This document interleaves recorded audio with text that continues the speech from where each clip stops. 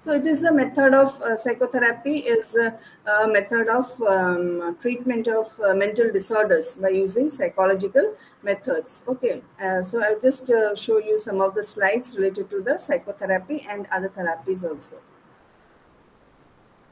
Okay, so psychotherapy is a method of treatment. As I said, it's a treatment of mental disorders. Okay, so this was originated from Greek and it is derived from two Greek words, psyche, which means breath in Greek, and spirit or soul, and therapia, which means healing or medical treatment.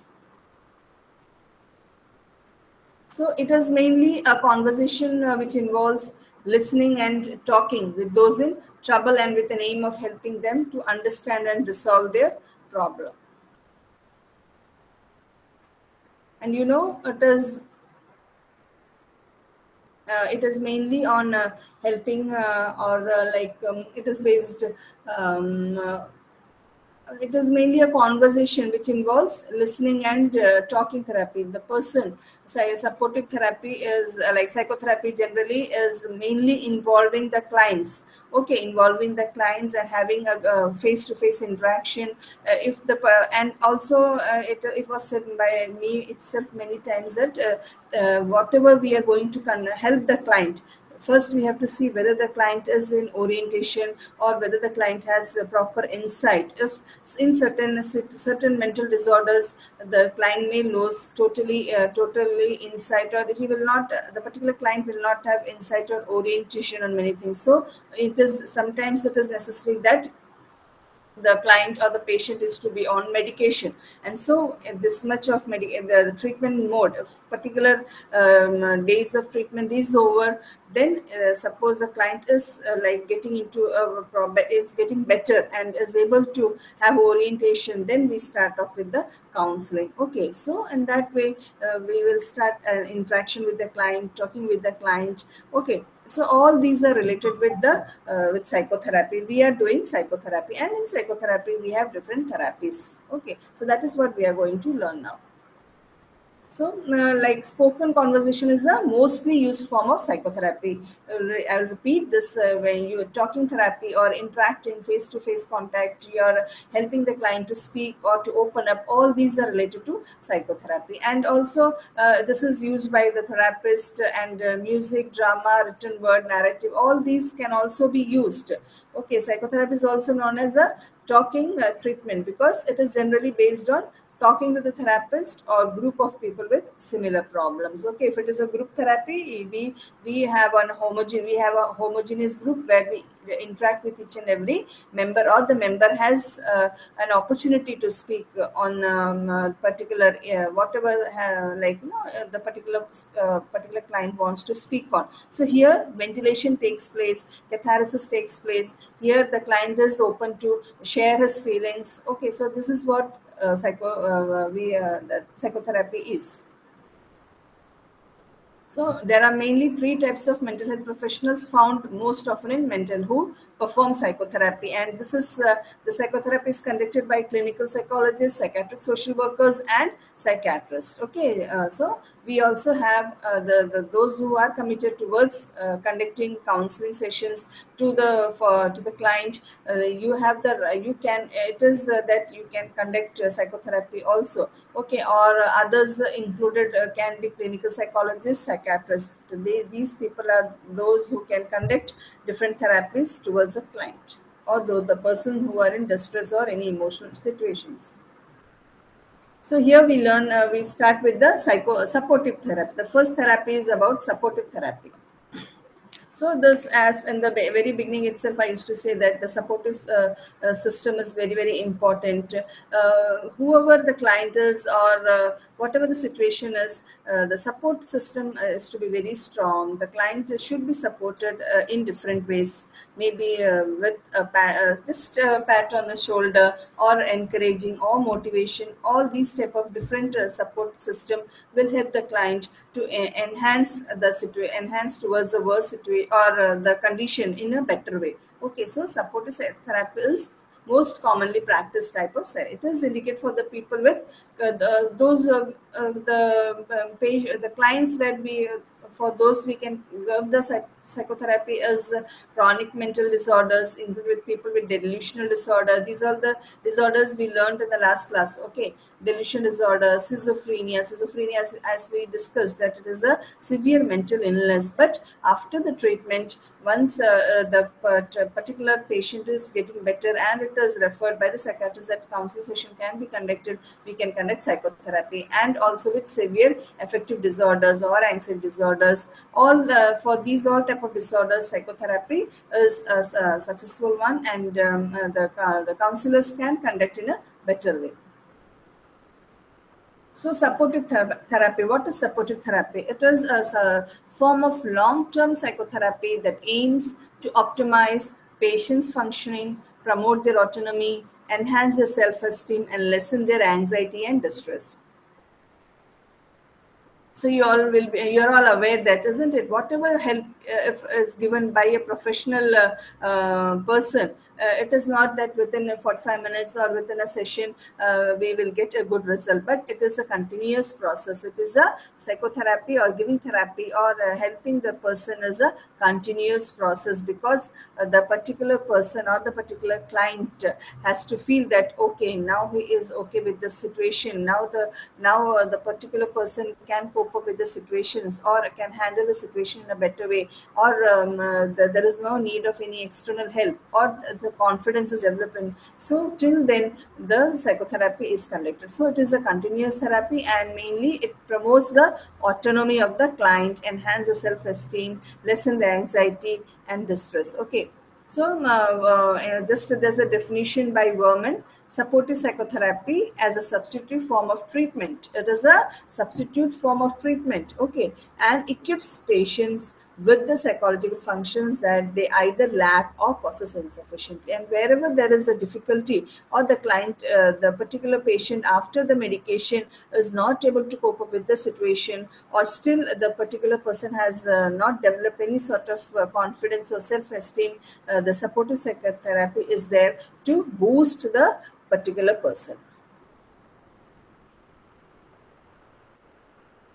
So here the therapist plays an active role in helping the patient to improve their social function. That is what we were discussing and coping strategies. And overall aim is to help the patient to achieve an optimum level of functioning by optimize their adaptation to living and that is very very important as uh, we learned that uh, psychotherapy can be uh, conducted for the uh, persons those who are suffering from mental disorders like uh, schizophrenia delusional disorders. So these uh, the particular people those who are suffering from this type of disorders will have little bit of difficulty to adapt to the new situation or adapt um, as before like know to move on with the things as before. So here psychotherapy will help uh, this particular patient to adapt the things in a better way to accept the environment to accept the family members to accept the near and dear ones or uh, to accept the uh, problem what that particular person has and go on with the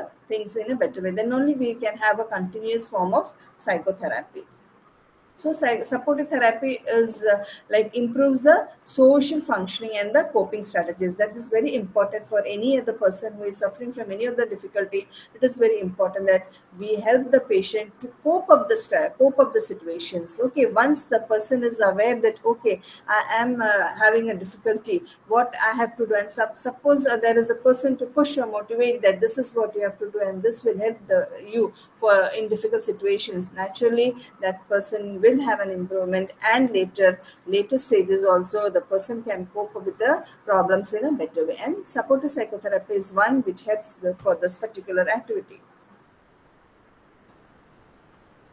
So uh, there are many uh, techniques given you on your text. Some of the activity, some of the techniques of uh, supportive therapy is holding and containment. That means you're uh, including that person. Okay, the, you, you are sure you are showing your commitment towards the client that okay, um, I am with you. Okay, don't worry, I'm with you. So that is what holding and containment uh, provides a point of stability and security within his or her otherwise disorganized world. As we know that, uh, as we were discussing, isn't it, that um, uh, this can be, uh, uh, the disorder can affect or the patients may for the patient those who have severe disorders will have difficulty to accept the thing. And here the role of uh, the uh, counselor or the therapist is that you're holding okay you're giving a sense of security you're giving a sense of uh, support or attention towards this particular client. That is what holding and containment. And uh, the people having knowing that you are there they will be uh, they them can calm them when they are under stress so often in therapy, in this therapy, the best intervention is to listen and to do nothing rather than to do something that is ineffective or even destructive. Okay, so the best part is that uh, your your uh, your commitment is towards listening the situation, listening uh, the particular client, um, helping to accept the situations or making them understand, giving psychoeducation. All these will come under psychotherapy then genuineness. Of course there is uh, nothing to explain on this. Um, this is one of the value of uh, any person that you must when you are in a profession when you are practicing something it is very important that you must be very very sincere honest and open. Explanation. So that is what i was just telling you that it is uh, the responsibility of the uh, therapist uh, to give psycho education okay psycho what is uh, what is this particular disease about? How you're going to cope with the situation? What is the role of your uh, what is your role in the society? Now how you're going to get back towards your normal condition? Now uh, this um, uh, medicine plus uh, medications plus therapy will help you to lead a normal life. All these type of educations can be given or explained by the psychotherapist. Then advice uh, like you know um, um, more frequently uh, people approach for supportive therapy usually has limited coping skills. So therapist uses this technique. Here, the therapist gives advice about the treatment, how to seek help. All these explanations, psychoeducation, advice, these are all interconnected. Okay. Then, of course, encouragement, as I was telling before, encouragement is also one of the important factor where uh, the therapist motivates. Okay here follow-up is very very important. Just in one meeting you cannot uh, um, bring out all the uh, um, uh, result in a better way or any interventions can all the interventions will be successful. I cannot say. I think the most important thing is that follow-up. Once your meeting is for 45 minutes the next follow-up you have if the uh, condition of the client is, uh, is there's a requirement of um, uh, very um, frequent follow-up sessions, it is very important that we give the appointment to the client to meet uh, at least uh, two days in a week or after a week. In the according to the condition of the particular client, we have to fix the follow-up sessions. And here, encouragement is very uh, like encouraging the statements about the client's action, enhancing the self-esteem, boosting uh, the morale of the particular uh, client, or boosting that you can do better, you can. All these positive pro prompt or positive responses will help the particular client to uh, um, bring um, a particular client in a better way. Then improving uh, social support. Okay so social uh, support uh, whoever is connected with the client uh, it is very important that their support is important their motivation is also important their attention is also very important because here the client uh, may feel uh, will have a attention seeking tendency. Okay or like sometimes the, the client may have guilt feeling or the client may say that okay i'm good for nothing. I cannot do now. Now i have i now i'm i've become a, a mental patient. How can i continue my work in a better way? All these um, confusions and apprehensions will uh, like will have a battle in the mind of these particular people of these particular clients. So uh, the social support system is very very important in the form of family friends uh, relatives uh, uh or other prof- other those who are working with that particular client. Or the the push of these all these people will help the client to improve the social support then catharsis, you know, you have come through the word catharsis, that is to lend, to vent out, to vent out, okay, to have a ventilation, to burst out the things, uh, to uh, like whatever the suppressed thing is in the uh, client, less uh, slowly and steadily, the client will think that I have to share to the other person whom I can trust, and uh, I'm very sure that the the like the the to one whom I am expressing the uh, my uh, my uh, whatever the clarifications or my issues will be kept confidential, and I will surely give a I will surely get um, uh, some any in, uh, some intervention to cope up with the situation, and that is called catharsis or to vent out ventilation, vent out to let off the steam go. Positive. Uh, the next is positive reframing. Positive, it is a technique used in uh, supportive therapy. Uh, that means it is helping the client to give a new positive meaning to the given behavior. Naturally, if uh, one uh, like we, uh, the, the particular person gets into any sort of anxiety or depression or any other severe mental disorder is because of uh, like uh, hectic um, uh, traumas or certain situations which the particular person becomes unable to cope up with the situation and that is what the particular person slowly slowly gets into the disorder okay so here so um, maybe the person doesn't have an outlook towards a positive attitude. So here the therapist is trying to build a positive framework so that the client can accept the situation. Okay i can also perform the duties in a better way. I can also have this the same uh, better condition like other people have. So this is how we are bringing uh, we are giving a positive uh, we are putting that particular client in a positive circle so these were some of the important techniques used in supportive psychotherapy okay so hope you might have got some idea uh, how to uh, start with the things how to go on with the therapy isn't it? So that is what psychotherapy is a little bit as i said a flexible sort of thing. Uh, just uh, you if you start talking in a positive way the particular uh, client will get uh, lots of confidence and will will trust you. Okay um, and so whatever the particular the therapist is expressing or interacting or talking to the particular client the client tries to accept the things. Okay the thing is that you have to be very genuine you have to be very sincere whatever the activity is being done by you you should be committed towards that. That is what more is uh, that is more important. And psychotherapy is little bit of a simple thing flexible thing where we can go on with the things in a better way. Okay. So basic strategies of supportive therapy. First is that formulate the case. Formulation is focused brief of brief conceptualization of the client or situation based on the assessment. We have to um, uh, understand about the case. Then be a good parent. Patient therapist relationship is the core of supportive psychotherapy.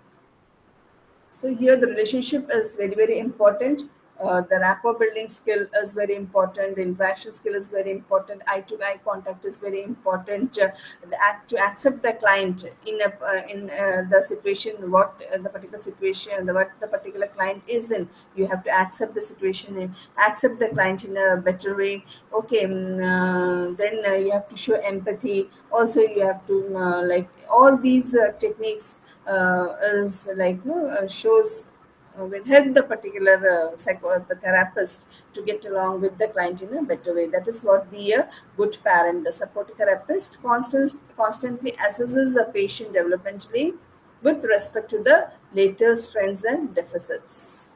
Then foster and protect the therapeutic alliance. As we discussed earlier, the relationship between the client and the therapist is the core of psychotherapy. It is very uh, important that we build, try to build a very good rapport with the client. The next strategy, these are some of the strategies or some of the intervention techniques where you can have with the client. Manage the transference. This is also very crucial area. You might have heard what is transference.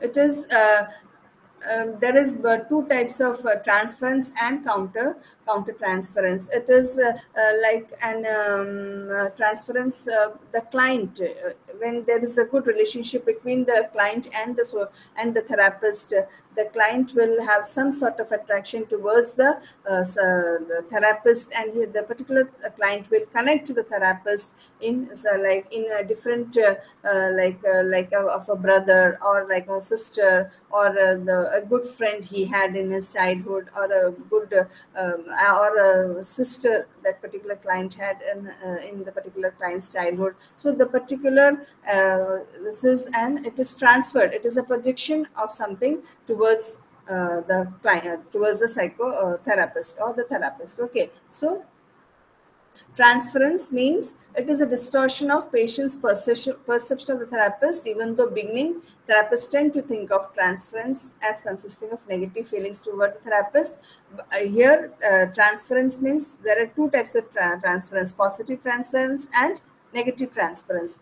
Okay, so positive is that uh, if the particular client sees in you as a brother or a sister or a good friend or a mother so and um, uh, the particular client had uh, had a good attachment or a good uh, sense of uh, understanding uh, of between these members. So he will or he or she will see a sister or a brother or a friend in you. And that was that the particular before this the client had a good relationship with all these family members. And naturally whatever the same feeling and a sense of happiness will have towards you the particular psychotherapist also. And if you whatever the assignment is given or whatever the advice is given or whatever the interaction is being done uh, the particular client will readily accept whatever is told by the psychotherapist because he uh, the particular client is has a special sort of attraction towards the psychotherapist and that is called transference. And that is called positive transference. There's a negative also. If uh, the client is not able to include the therapist and uh,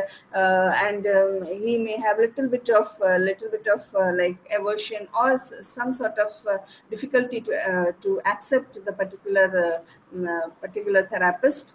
And um, he will relate a person who was uh, like a father who was a drunkard or uh, the friend who ditched a particular client. So if it is the particular client will have a negative transference towards the psychotherapist and the so in that time the treatment or working with the client becomes little bit difficult so it is very important that you will have only a, a professional relationship you have to manage the transference okay so here, uh, like some of uh, supportive therapy, uh, we were discussing some of the strategies, isn't it? Why these things have shown in the slide? Because these are some of the important thing what you need to have. Okay, what you need to apply uh, as when you work with the client. Now we'll see some of the skills, supportive therapy competencies. Okay. So, um, knowledge, skills, and uh, attitudes. These are some of the major uh, things that uh, psych- uh, psychotherapists need to have okay knowledge. As we know that we must equip with the updates we must know what to how to deal with the client or understand the client. All these are very uh, important. When you listen all these things it, uh, it see it you will uh, the, uh, you will perceive that oh these are very simple thing. I have uh, uh, the competency or i have that ability to understand the client but each and every client may be diff- different.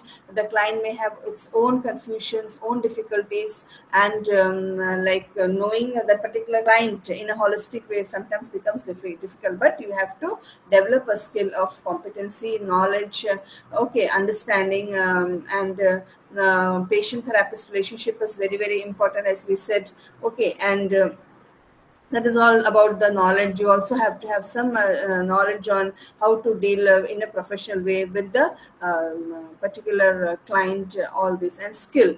Apart from knowledge you we need to have good skill um, supportive uh, like establish and maintain therapeutic alliance uh, proper diagnosis and assi- assessments is very important. Uh, we have to accept the client in a better way. Where if there is a need of uh, uh keeping the things confidential, we have to show our skill of uh, like you're you're maintaining confidentiality, and you have taken the you have to you must have the skill to take the particular client in confidence that whatever you, you the, it is told by you will is correct, and you will be moving in that particular path itself. And it is not that you are um, like um, um, you are speaking something but you are not acting the same. What you preach you are not practicing. That will give a negative impact and that you must not you should develop a skill of uh, genuineness uh, empathetic feeling etc okay then establish good treatment goals should be formed in the interact in a uh, direct and uh, non-threatening manner. It is very very important. Sometimes what happens is that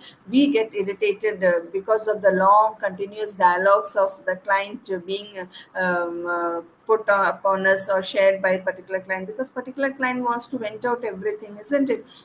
We were saying that we need to have a catharsis will provide an ambience to have catharsis. So, but naturally, the client will share uh, or would like to express uh, many things. Sometimes it is not connected to the particular uh, particular client, but the, when starts uh, sh- um, sharing all these things, we have to it is uh, it is that we have anyhow we are before you are before the client you have to attend the client. So it is sometimes what happens uh, we may get irritated. It is not. We have to be very much calm. We have to be mature. We have to be patient. We must be patient while uh, we are there with the client. That is what interact in a direct and a non-threatening manner it is means sometimes what happens we get irritated irritated and uh, sometimes we share a word dialogue or an interaction uh, which uh, maybe not pleasant. Maybe because of the uh, wrong uh, notion about of the client towards anybody. Okay so that that becomes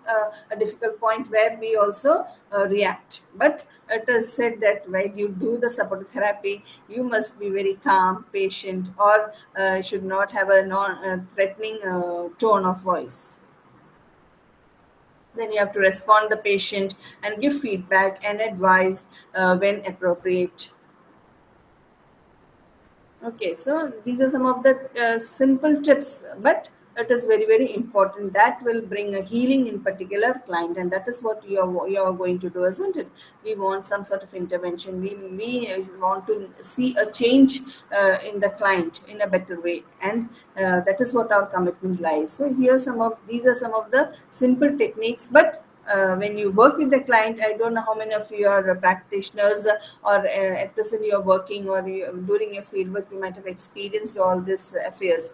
Okay, so uh, in any in, in future also in uh, now you are planning to move towards uh, this profession these steps will help you to um, build a proper confidence in you and self-esteem. And you you will be having a sense of satisfaction that whatever the work you are going to do uh, whatever work you have done okay you have uh, you have achieved a good outcome. And all these will help in future uh, future in, in your future profession also then attitude is also very very important uh, skill uh, empathetic we were discussed isn't it? Sensitive to socio-cultural uh, and socio-economic issues are also very important uh, socio-cultural. You're giving respect to their culture uh, the diversity what we have in our country. Okay it is not uh, we are dominating our culture or our customs and traditions or whatever. I have learned i have to um, i will be expecting the same from the client who is sitting before you. It is not like that we have to respect their culture.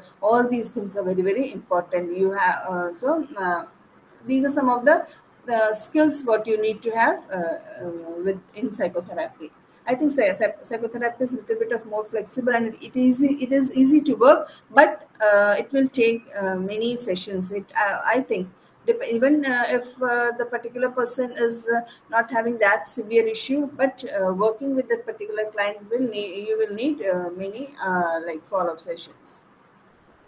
So hope you have got an idea about um, this how to go on with the psychotherapy okay Next is cognitive behavior therapy. These terms now it has become very familiar to you. I know that cognitive behavior therapy (CBT) um, last uh, in last classes also, and the other uh, resource persons also might have uh, talked about the cognitive behavior therapy. Cognitive it is uh, the per- it is a perception or uh, the way the particular uh, person has uh, understood about a particular matter, isn't it? Sometimes that goes negative or that becomes more severe, and it is the particular client is unable to handle the situation, and that becomes a disorder. Okay, and that is what to um, have a proper understanding about what the particular person has perceived.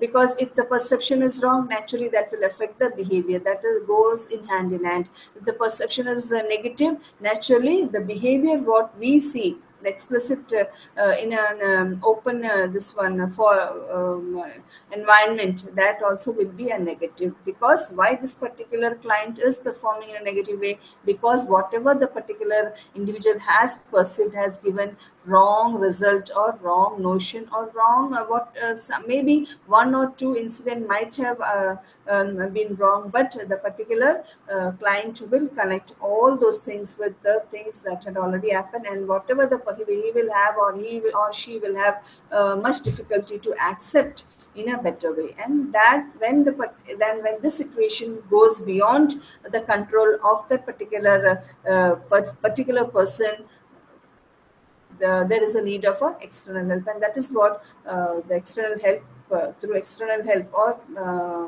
this situation is uh, the particular professionals are trying to bring control. Okay it is very important and very difficult also to change the cognitive level or change the attitude whatever the particular person has learned that show uh, that is shown in behavior. So it's a multiple tasking uh, therapy. We have to uh, clear about the cognitive distortions also. At the same time we have to attend the behavior sessions also, isn't it? Behave, changes in the behavior also. We have to bring changes in the behavior also. So this is a uh, the, yeah we have to undergo with the double therapy. This you can support therapy. Okay, that is also uh, it's one of the major therapy itself but through uh, talking or if the person has insight it is easy to work with it okay but changing the perception sometimes may be difficult. So again here also we need uh, many sessions uh, um, naturally you know is it many sessions are needed to work with the particular client those who are uh, have uh, those who are distorted in their cognitive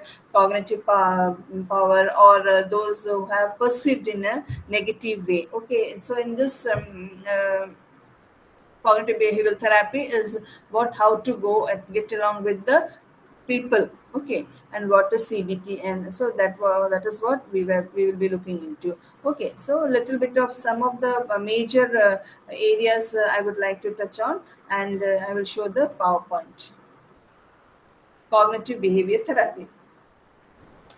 So it's also a form of in short we can say that it is cbt uh, there are special courses uh, particularly for cbt cbt therapy. And um, uh, we can uh, like we can be particularly we can uh, learn many skills and techniques um, in this uh, therapy and conduct the therapy in a better way. So it is a form of psychotherapy that emphasizes the important role of thinking in how we feel and what we do. That is what we were telling isn't it? It is based on the ideas that our thoughts, beliefs, attitudes, and uh, perceptual biases influence the type of emotions and intensity.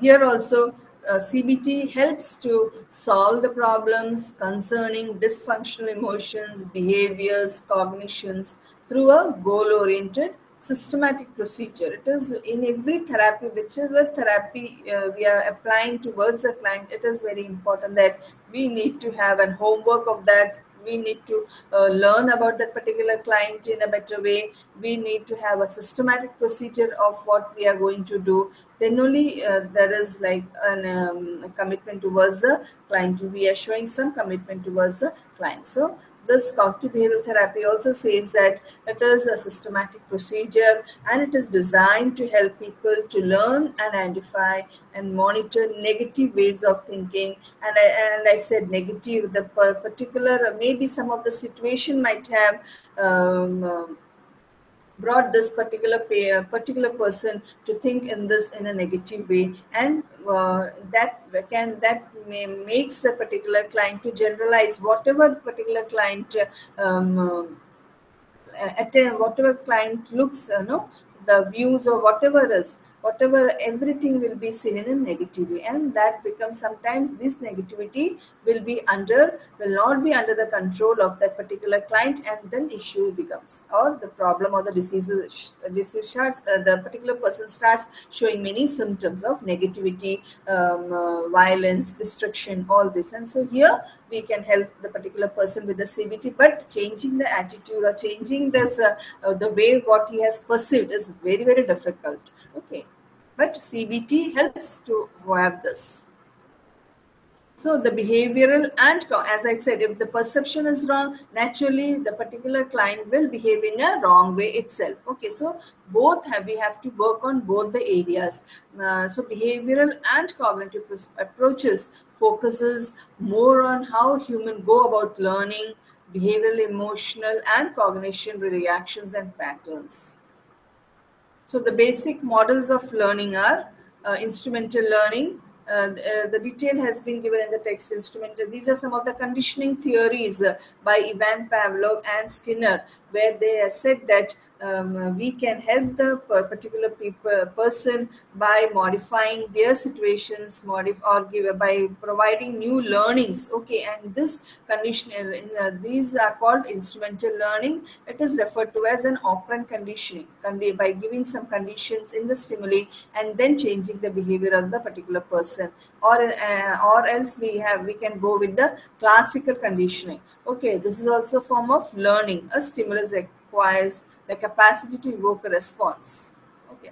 And modeling, giving good role models, um, giving the examples of uh, excellence, those who have excelled uh, in many areas uh, and uh, during their time also they may have they had gone through different uh, uh, struggles but they had overcome. So we can also help this particular client to say that even though we have lots of or your perception uh, your thought process is like in a negative way but when you start working in this way you can also achieve good result. So through mod are showing some good examples where they had achieved in a they have excelled in their field of work. Okay so here different types of uh, um, uh, models of learning can be applied in cognitive behavioral therapy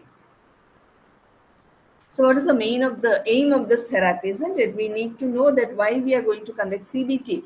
Um, as I said, it is a combination of CBT, cognitive, cognition to change the uh, cognitive distortion and also to change the behavior. This includes both the, the twin uh, uh, areas, isn't it? Uh, dual, um, um like, uh, you know, you are applying a, um, a dual intervention. So it is majorly uh, it aims to have an early decrease in symptoms early decrease in symptom when you start uh, when uh, the um, uh, when the particular individual shows in the beginning itself uh, some technique is applied the, there will be a decrease in symptoms so and like exploration of vulnerability factors the second aim in therapy is to explore and solve factors in the client's life and have made them vulnerable to developing mental health problem. That is what the particular person, maybe because the situation or life experiences, had undergone some trauma or some guilt feeling, which he had, which the particular client starts to um, register in his mind all the negativities. So here we are going to change. We are trying to change that uh, negativity. Then uh, also therapy, uh, the, the, therapist should be very much skilled in cognitive therapy, uh, therapeutic techniques to solve successful programs that may arise future without needing the therapist to be present. Okay, so it's very important that you are molding the client in such a way that whatever situation comes in future, the particular client is able to cope up with the situations. Some of the behavior interventions it is uh, like uh, the behavior intervention is changing the you are trying to involve in the client to change the behavior of uh, them. And moreover it will also take um, uh, some uh, like many follow-up sessions uh, and different types of intervention models. So behavioral intervention focuses on changing a person's unhealthy and problematic behaviors, actions, and responses. So we, it is the focus is not on why something happens. Okay, why something happens. It is not. But changing the process to prevent. Okay whatever has happened has happened. Now we are not uh, getting into that that why this happened why that happened why, when this uh, whether this happened again no. Now the present condition is to be taken into consideration the present condition. Okay i'm giving thrust to the particular word the present condition of the client is to be taken into consideration and how to change the behavioral pattern of that particular client or the process to prevent or alter or replace with the healthier, more effective behavior. That is what we have to have an homework on this. But each and uh, it is very important for the therapist to do a homework, to assess the particular client in a proper way, to find out the techniques and strategies, how to help the particular client in a better way. That is why I said it is not going to complete. You are not going, find, going to find out a um, uh, success rate within uh, one or two sessions, but it may need a minimum four or five, uh, 5 to 10, 11, 12 sessions. It depends upon the particular uh, difficulty that particular situation, uh, particular client is facing with. So how it is treated? See, sometimes you can, um, negative th thoughts uh, can be a little bit replaced with the better ones. In this way, we can move along and um, uh, and moreover uh, like whatever we were seeing isn't it some uh, um, therapies related to you can also have an eclectic sort of therapy. You can mix some other therapy also like group therapy. Okay people with similar problems come and share their issues and how they have uh, introduced some coping strategies and they have got improvement. The same can affect in a better way towards a client. Client also starts feeling that if i will do uh, if i go better uh, in a better way i can also change uh, my behavior pattern. So these are some of the things so what is therapist style? Here the main, uh, I said, as I said before, I have taken the major areas uh, of uh, like where uh, your intervention is important, uh, your involvement is important. That is why it is, the heading is given as therapist style. So how your style should be, that is what uh, it is shown, how you will have to perform yourself towards the person or towards a client who have distortions in their cognitive and uh, they have a non uh, like acceptable behavior.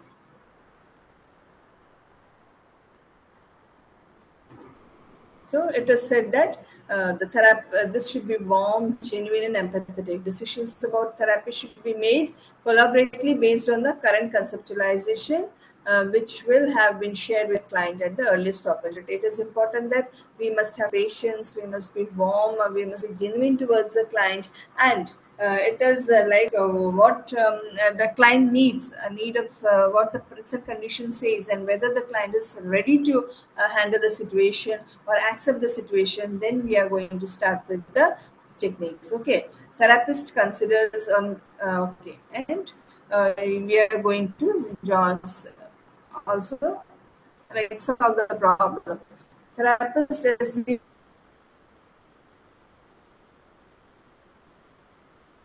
the role of a educator, teaching the client about cognitive models that have been developed to understand the etiology. Etiology means causes, and more importantly, the maintenance of maintenance of the client specific problems. So here the therapist assumes a role of an educator. Isn't it? This simple term educator means we have to educate uh, in many areas towards this, uh, towards the client. Therapist also responsible for teaching uh, the client about the cognitive and behavioral techniques designed to elevate their problems. And relapse prevention. Hope you know what is relapse prevention. This is a common term used in the de-addiction centers or uh, you, you, when uh, the treatment is given for the uh, psychiatric issues towards a client that uh, there should not be a relapse. Okay, relapse that is going back to the uh, same situation in a severe way. So here also it is important that uh, uh, relapse prevention, we, the patient must be prevented with a relapse. Okay, so here the, the role of the therapist is that we have uh, to help the particular client with the difficulties that if uh, if there is a relapse again the situation may worsen and then again all the treatment has to be taken again and again. So relapse prevention and uh, in uh, cognitive behavioral therapy is very very important. In therapy, the endpoint therapy is not the client symptom but when they learn through informative skills, that's very important for a psychotherapist. Okay, as you are pursuing courses, and when suppose you have got an opportunity to undertake a therapy, uh, we have to see that it is not the client is symptom free, but when they learn through cognitive skills to cope with the current problem. That is more important, and also the problems that could arise in future. The, we are we are uh, developing or molding a client in such a way that whatever the situation comes before, whatever the difficult situations come before the client, the client must have the ability and confidence to cope up with the situations. Okay, and that is what ending therapy means. So CBT is successfully uh, used to treat variety of mental health problems. Okay, there is an empirical evidence also. There are many researches being conducted in CBT that different types of mood changes, mood disorder, uh, bipolar disorders, anxiety, personality, all these we had discussed in the very beginning. Okay, so personality, eating disorders, substance abuse, psychotic disorders, uh, these uh, CBT is used in individual therapy. So in these uh, the disorders, these are some of the disorders where many people are affected with, and through CBT we can bring changes those who are suffering from uh, mood disorders or any sort of anxiety, generalized anxiety, or different types of other severe anxiety, personality disorders, eating. Here, CBT. So, CBT includes many uh, behavioral techniques also. That is what we saw three learning techniques, isn't it? So, through all these techniques, maybe uh, the, the, therapist can help the client to bring a change in the particular client and move in a better way. And the important thing is that therapeutic setting. Therapeutic setting is also very, very important. Uh, the major majority of treatment takes place in a comfortable office located either in a clinic or in a hospital setting. So all these uh, tips are very important for you as a beginner. Okay so uh, the ambience is very important a quiet and comfort place. Uh, there must be a comfort zone for the client. The client must think that okay i'm very much uh, safe here secured here. I can open up any uh, my difficulties towards a particular therapist. And so we have we have to provide a comfortable space for the client. So in order to emphasize the collaborative nature of the treatment the client and the therapist will sit in a similar cha- chairs, either facing or at a slight angle to each other. So we are sitting face to face or a little bit uh, angle, like uh, slightly, uh, maybe 35 degree uh, uh, angle um, uh, you're sitting in a 35 degree. So maybe 35 or 40. Okay, not more tilted, but not slightly, not too much of like um, cornered, but even though you're face to face but slightly you can angle yourself okay? Uh, so in that way the setting of the uh, setting is very very important when you conduct your therapy.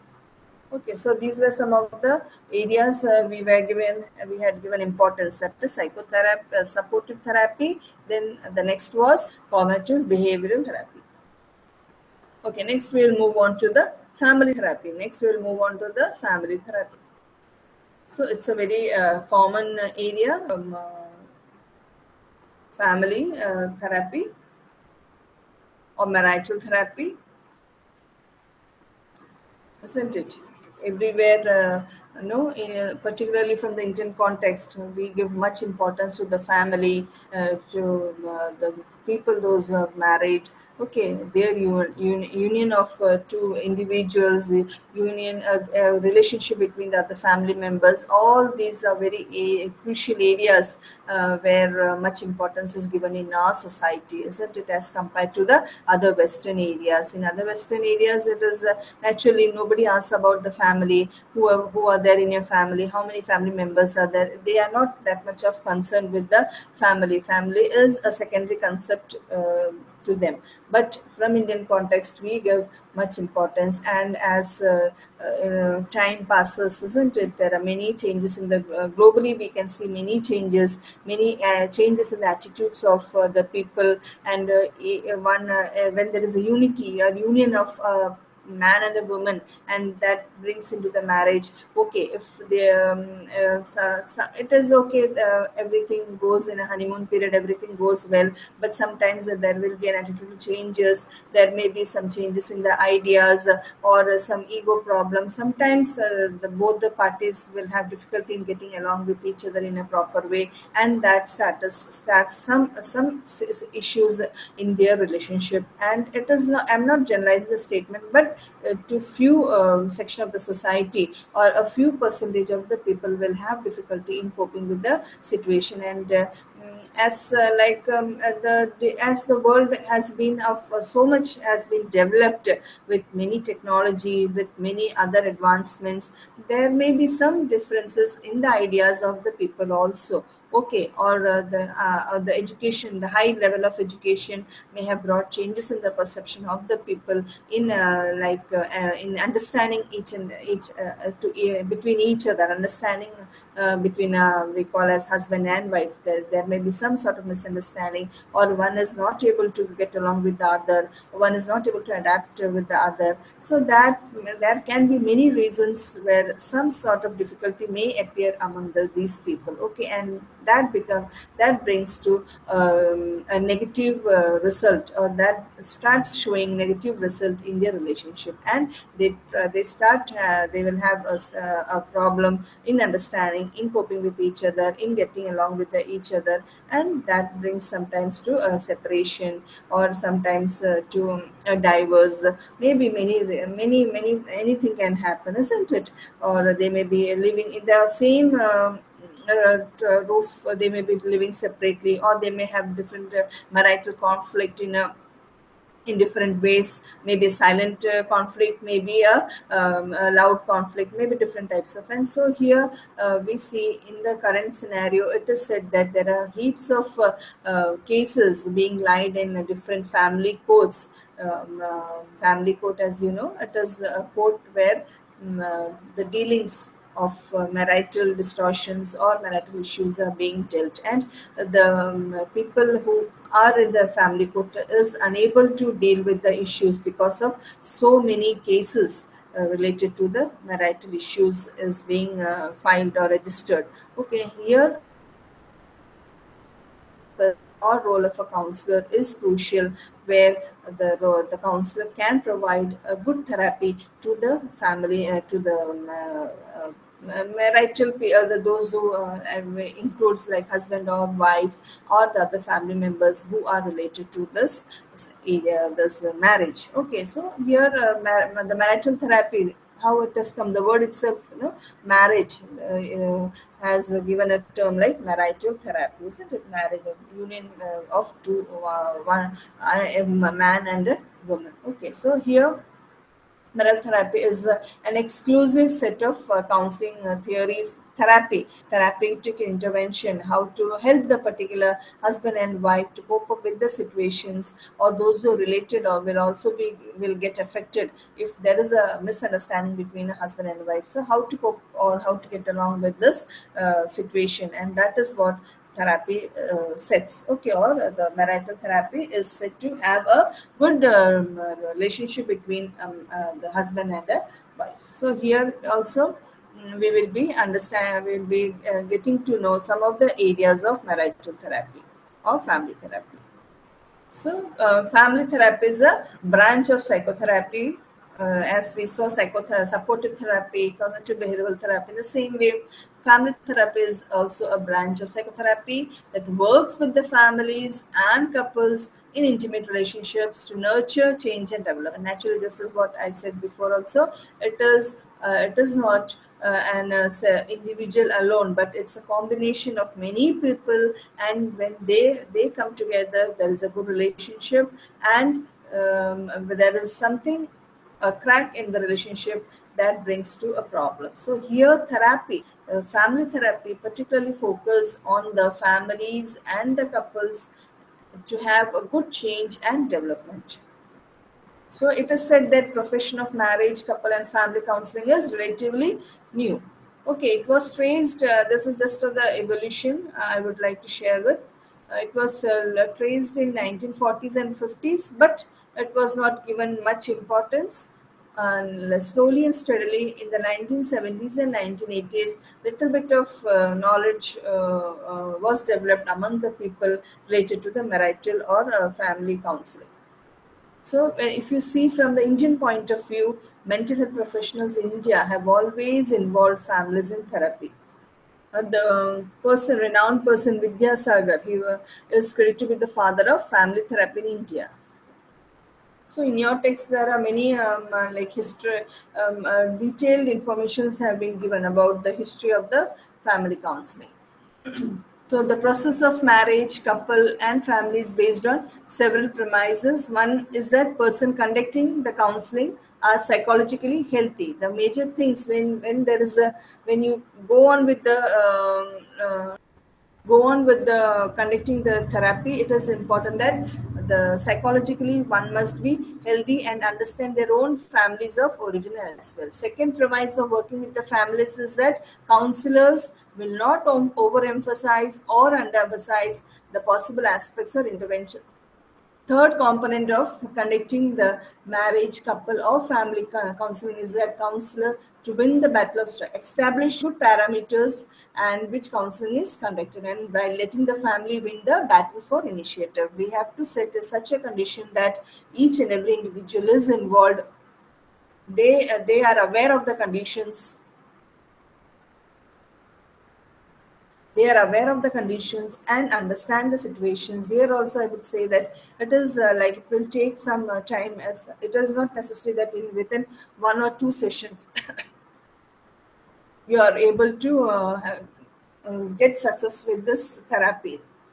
Many follow-up sessions may maybe have may have to uh, we have to may have to conduct many um, sessions wherein we will get some interventions and each there here also we need to have supportive therapies also. There is a there is a need of supportive therapy. There is a need of uh, cognitive behavioral therapy because um, uh, there may a, a, husband or a wife may have wrong um, uh, attitude or perception okay towards any issue between them so that perception to be removed so here also we need different sessions to get along with the this problem so uh, major steps in family therapy or family counseling is intake. Intake means initial information is gathered and sessions plan is briefed.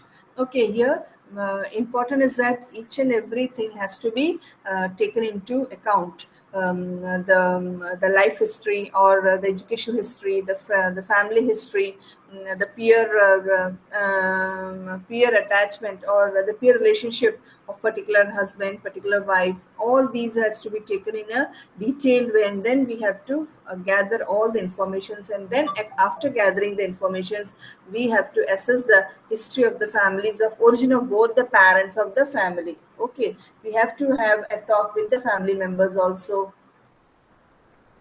then we go on with the diagnosis after assessing all the areas of the husband and the wife and the other family members we get into the diagnosis part and making a diagnosis based on assessment and finally on structuring and functioning of these issues so family structure is very important.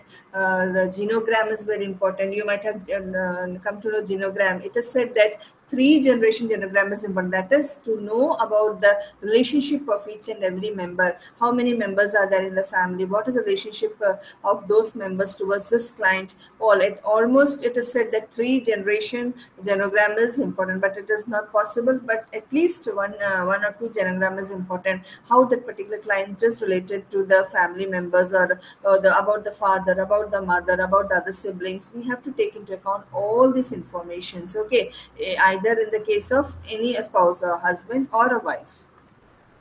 And it is very important to know about the subsystem. Okay sub the, the those who are related with subsystems means the other people related with uh, this particular family is also very important. How the particular uh, family members are related to the religious institution how they related to the financial institution how they related to the neighbors how they are related to the other factors or relatives all these are taken. So it is a it is a networking it is i can say that family therapy it is not a, a, a, a just moving in a, a slight way but it is a networking of a big big network okay? Having a relationship or having connections with many many people. And once we come to know when if there is a problem between a husband and wife or there is an issue in the family it is very important to get into the network of all these factors okay? Multidimensional assessment is very very important. Then only we can move on with the intervention.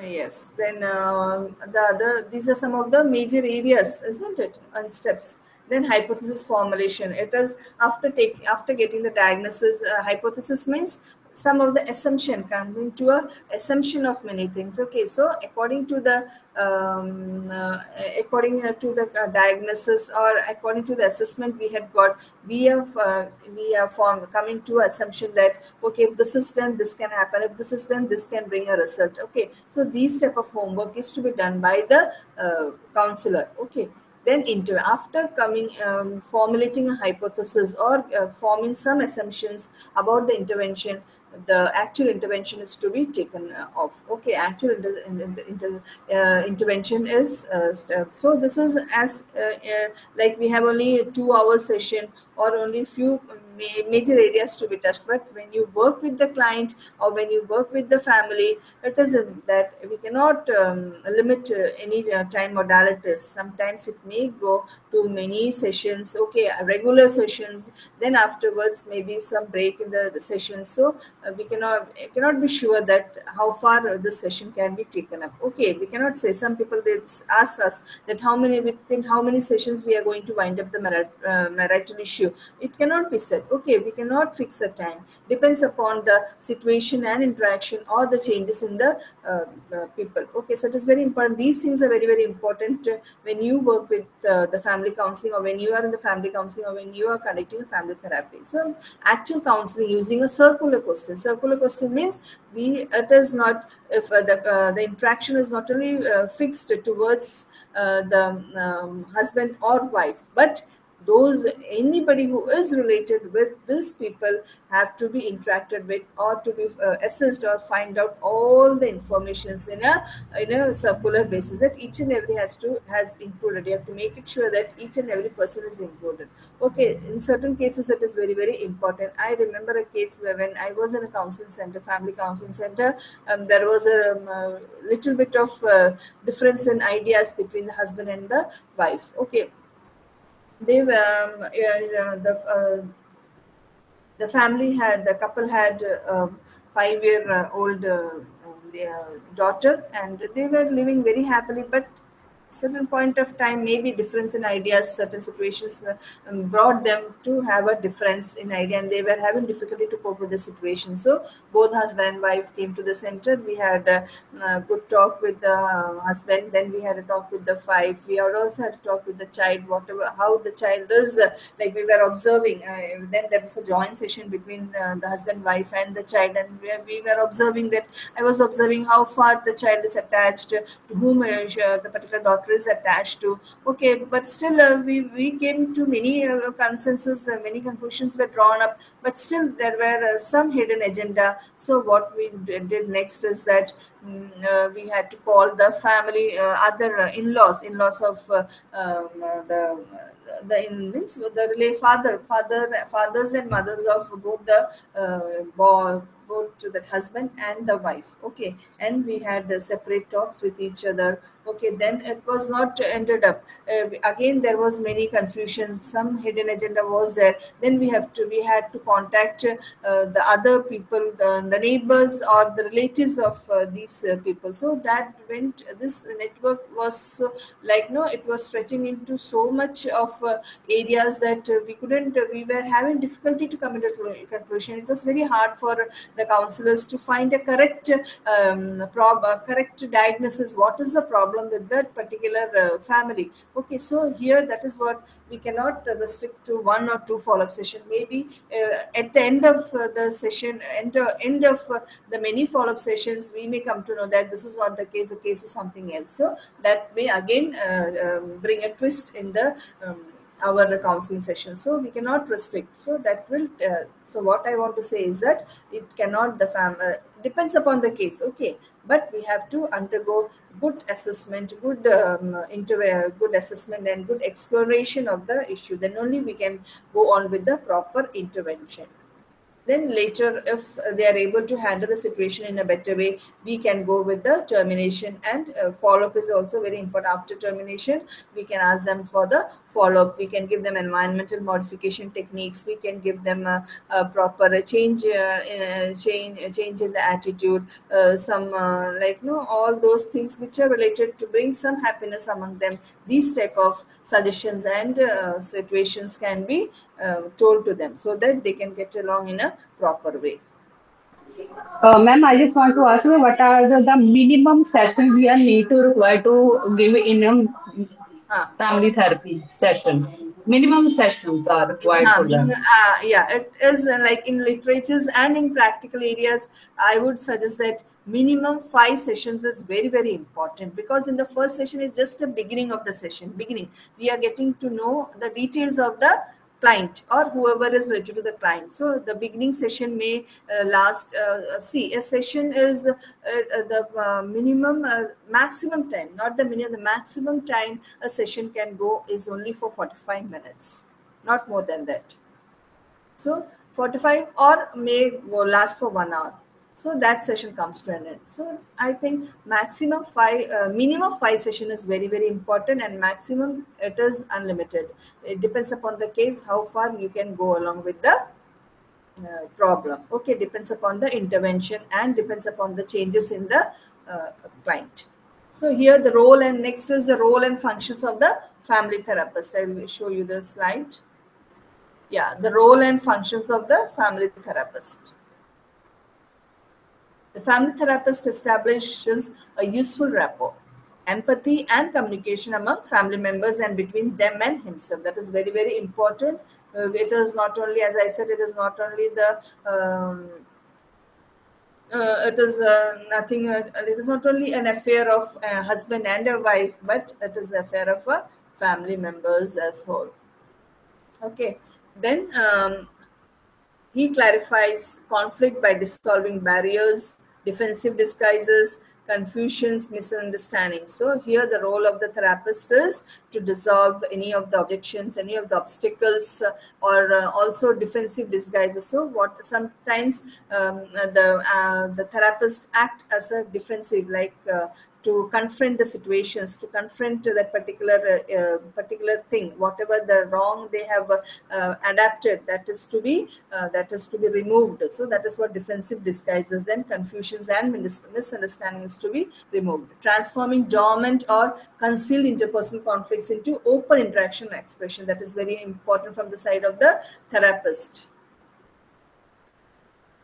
transforming dormant or concealed interpersonal conflict. What uh, so they may be undergoing through a cold conflict, or uh, we say that cold war, isn't it? They may, they may not express all the things, but um, uh, they may have lots of difficulties or lots of confusions in them. So they, we are trying to build a, such a situation. They are opening up all the um, whatever they have suppressed. Okay, then lifting hidden interpersonal conflict to the level of interpersonal interaction. Interaction is very very important. Whatever they have, uh, they have um, uh, acts adapted as a wrong attitude. that is too very important that they must express it freely, and we must give such an ambience, such a situation where they can express freely their attitude or the, the negative thoughts they have uh, inculcated, inculcated in them or through experiences whatever okay? Maybe um, many of the cases may be right towards an opposite sex or uh, maybe some wrong notion also but all whatever it is through interaction it is very important that all these are made in a uh,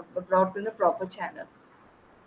The neutralizing patterns of prejudicial scapegoating that 45 1 part of the family while victimizing another part. Okay that is also your uh, we are we, we are bringing a balance between the family members also. Okay it is not that one is becoming a scapegoat the other uh, becomes free. It is not. Both the parties are equally important uh, in their in the whatever the issue is being undertaken both the parties. And that is what the role of the therapist is that the, the role the therapist neutralizes uh, makes them understand that your role is, is important the family's role is important at the same time the opposite sex or the husband's role is important the, at the same time the wife's role is also important the uh, relative's role is also very important then only we can get along with the proper uh, family system or with the we can solve the marital issue. So here if you become the mediator you become the broker in between them to uh, uh, let them go in a proper channel.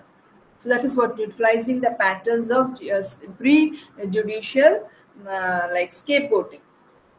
Then counter interacting inappropriate denials displacements and rationalization of conflict. It is sometimes what happens one suppose the husband starts displacing or suppose shows some self uh, like defense uh, uses some defense mechanism and that may bring a problem towards the wife. Or wife may um, uh, project uh, have show some uh, sort of projection or some sort of blame towards that particular uh, husband. Okay or some they may have inappropriate denial or displacement. So here you are there or the therapist has to counteract or confront or make them clarify the correct aspects of the issue. Okay and that is what counteracting the inappropriate denial or displacement or rationalization. What uh, uh, bringing a logical reason for any of the conflict making making a rational uh, i uh, rationalize the thing whatever the thing is we have to give the correct um, uh, correct uh, reason for that particular conflict or what is the reason behind this issue. And that is what you have to take the lead. The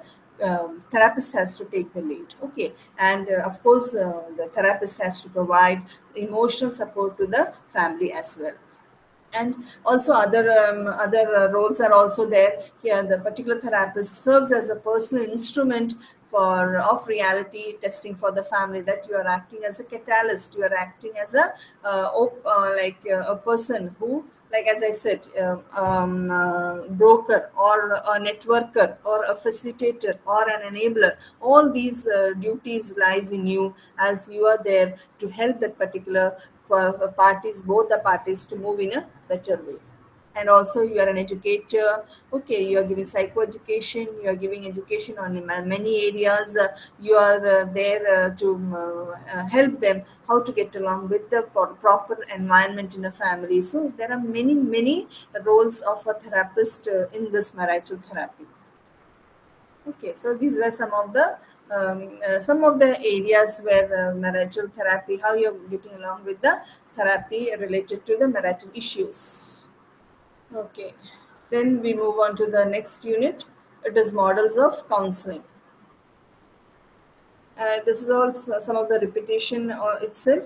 Models of counseling, we were looking into different models uh, like psychoanalytical model, Albrecht model, all these related to help the help the members okay help the individuals to cope up with the not only the members sorry help the uh, individuals to cope up with the different situations. So here also it's a detailed um, uh, content given in your uh, chapter itself.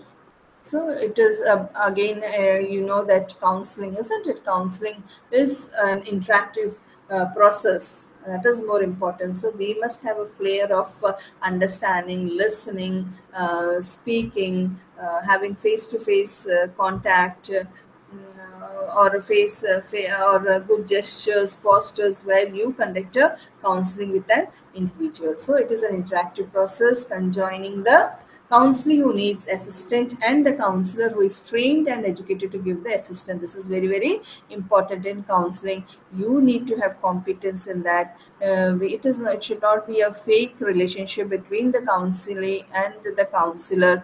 We must have a genuine this is what i have been repeating again and again because when you start working you will come to know that uh, developing a good relationship is not that simple. Okay so how you are going to have a good relationship with a person who is so new to you, he haven't known to you, or um, uh, you have not understood anything about uh, that particular client? How you're going to have a relationship? So this is what some of the things when you keep all when you are prepared for everything, it will be easy for you to get along with the client, whatever type of person is before you. Okay, so you have you will have many challenges. We cannot expect that. Uh, the type of uh, individual uh, before you is every time okay or is with the same emotional uh, balance that particular individual may face different emotional imbalances also maybe because of some of the um, preoccupied notions. It is not because a particular uh, person has uh, is uh, because of uh, start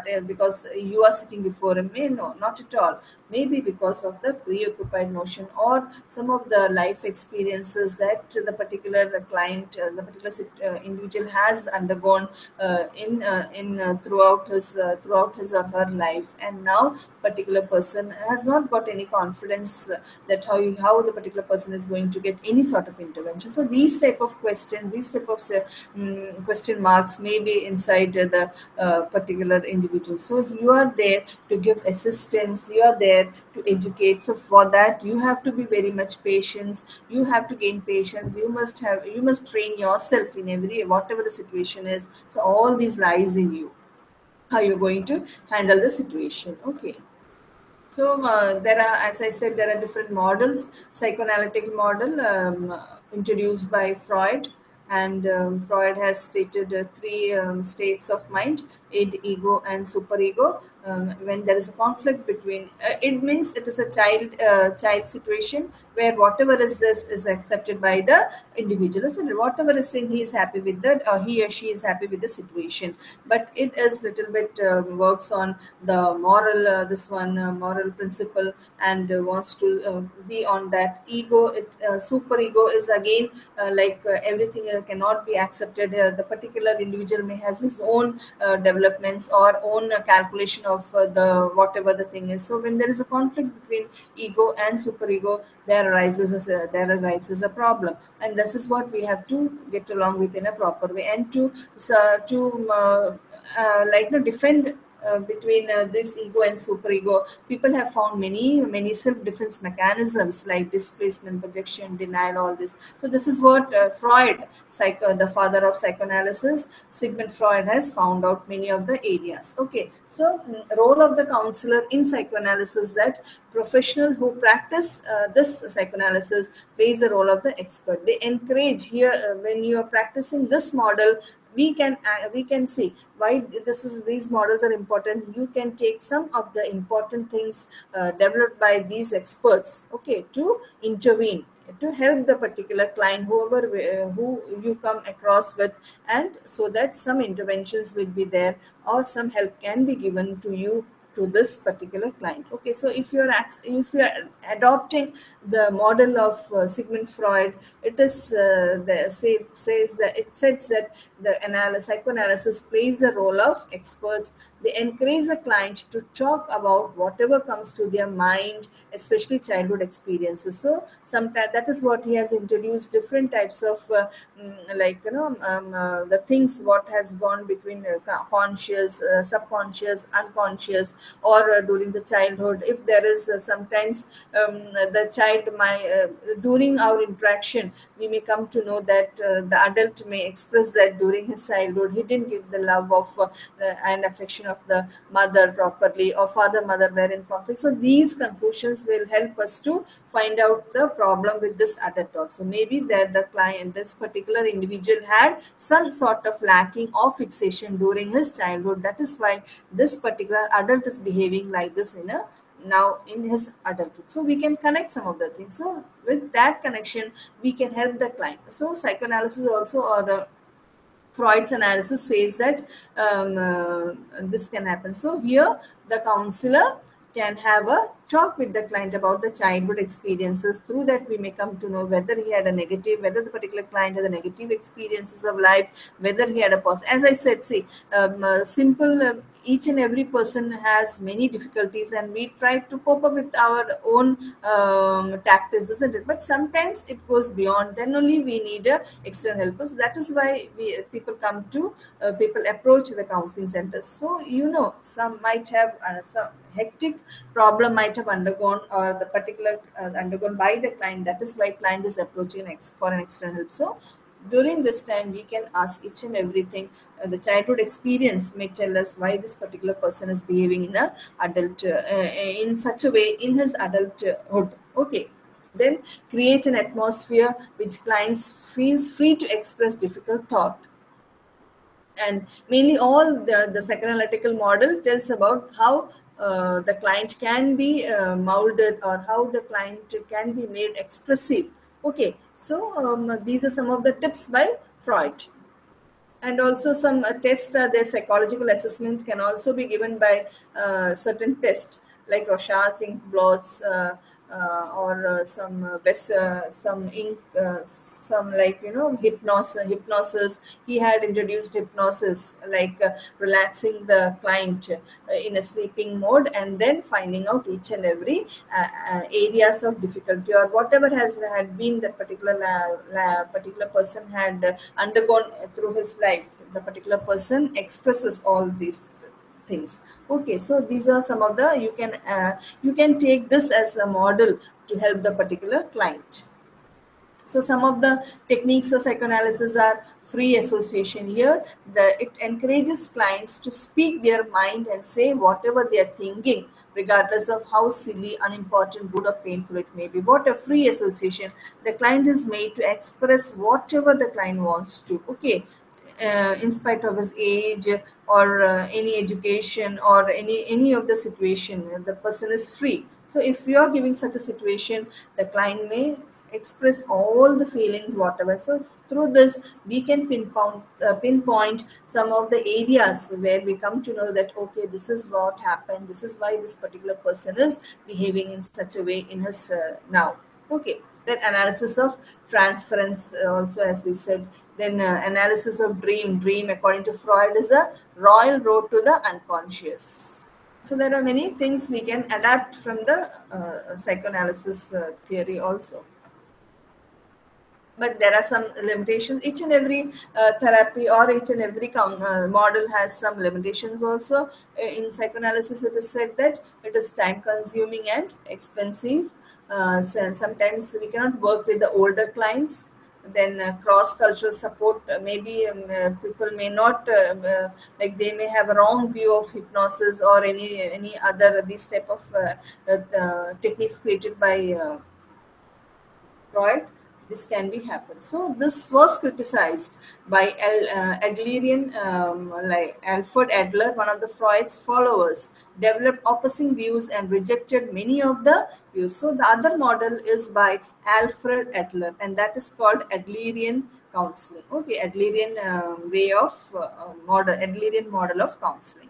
Okay, he this Alfred Adler was an associate of Freud itself, but because of certain, uh, uh, but certain uh, criticism or some of the some of the thoughts which was which Adler was not ready to accept by which was developed by Freud, he um, the particular uh, um, person, particular psychologist had his own views and uh, ways to treat the people. Okay.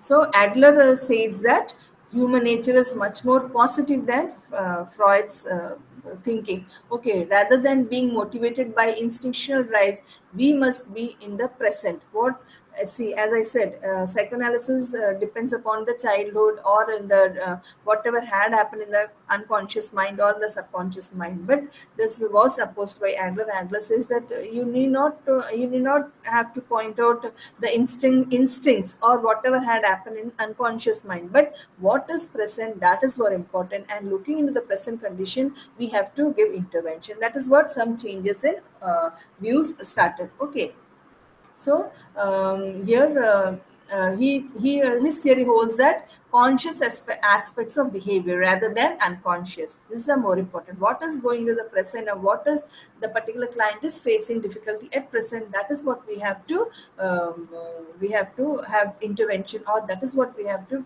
point out. Okay, the present condition. So here uh, the role of the counselor when when uh, the when if, if if a counselor wants to adapt this model what role is to be played? That is what adlerian says that adlerian counselors function primarily as diagnosticians teachers and models. Okay they try to assess why clients are oriented to a certain way of thinking and behaving why that particular present condition is such a way. Okay so the counselors has uh, to uh, the uh, has to uh, like um, uh, have has to uh, find out all the informations going into the present condition. So it is that confront whatever the wrong clarification wrong ideas has been noted by the client that is to be clarified and that is called confrontation. Then asking the question okay the counselor has to find out many things from the uh, client. That is what adler says that okay so uh, we it is up to you you can adapt any of the model okay. But we have to understand each and every model and this is what uh, all these uh, we have taken these psychological um, uh, learnings as a model for counseling and therapy. That is what you must understand. Okay. here also there are many limitations also then we have client-centered approach we have uh, gestalt therapy existential therapy all these were shared to you last time also in uh, book number 13. See, if you go through book number 13, the same uh, approaches we had discussed.